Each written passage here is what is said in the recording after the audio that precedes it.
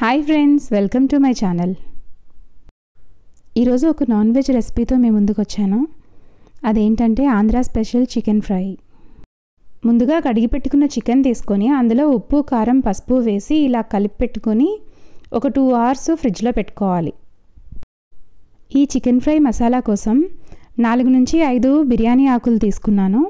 ఒక నాలుగు ఎండుమిర్చి దాల్చిన చెక్క యాలక్కాయలు ఒక మూడు లవంగాలు కొంచెం ధనియాల పొడి కొంచెం కొబ్బరి పొడి. చికెన్ ఫ్రై చేసుకోవడానికి పావు కప్పు ఆయిల్ రెండు పెద్ద ఉల్లిపాయలని ఇలా కట్ చేసి పెట్టుకున్నాను. ఒక tablespoon ginger garlic paste తీసుకున్నాను.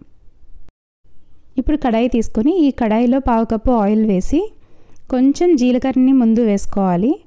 ఈ జీలకర్ర కొంచెం చిటిపట్లాడిన తర్వాత ఉల్లిపాయలు వేసి ఉల్లిపాయలని కొంచెం ఫ్రై చేసుకోవాలి. ఉల్లిపాయలు ఫ్రై అయిన తర్వాత అల్లం వెల్లుల్లి పేస్ట్ వేసాను అల్లం వెల్లుల్లి పేస్ట్ కూడా కొంచెం బాగా వేగిన తర్వాత అప్పుడు మనం ఇందాకలు మ్యారినేట్ చేసుకున్న చికెన్ని వేసాను ఈ చికెన్ ఒక ట్వంటీ మినిట్స్ ఫ్రై అయిన తర్వాత మనం మ్యారినేట్ చేసినప్పుడే సాల్ట్ వేసుకున్నాం కనుక ఇప్పుడు మరి సెపరేట్గా సాల్ట్ వేయనవసరం లేదు. ముందు చూపించిన మసాలా దినుసులన్నింటినీ ఇలా పౌడర్ చేసి పెట్టుకోవాలి. ఆ పౌడర్ని ఇప్పుడు యాడ్ చేసుకొని ఒక ట్వంటీ మినిట్స్ ఇలా ఫ్రై అవ్వనివ్వాలి.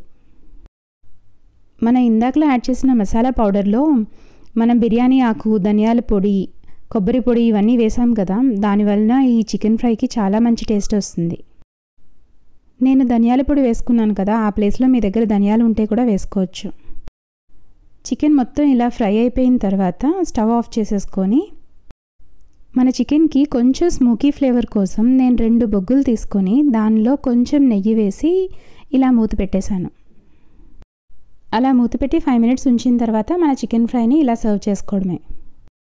ఈ చికెన్ ఫ్రైని ఒక్కసారి ట్రై చేయండి. నిజంగా చాలా అంటే చాలా టేస్టీగా ఉంటుంది. Thank you for watching